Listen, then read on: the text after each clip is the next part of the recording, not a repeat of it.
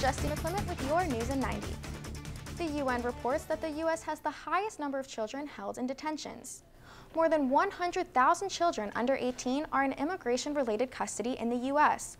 More than 7 million children are held in prisons and police custody worldwide, with 330,000 being held because of their immigration status. The study says that children should only be detained as a last resort and for the shortest time possible. Three people are dead after a shooting in a Walmart in Oklahoma.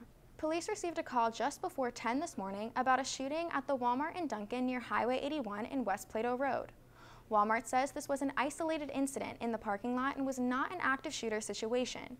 Authorities confirmed that the shooter, along with a man and a woman found in a vehicle, are dead.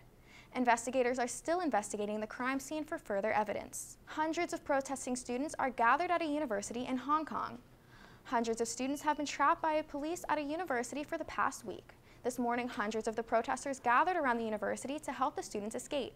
Around 100 students tried to leave but were met with tear gas and rubber bullets. At least 116 have been injured and taken to the hospital.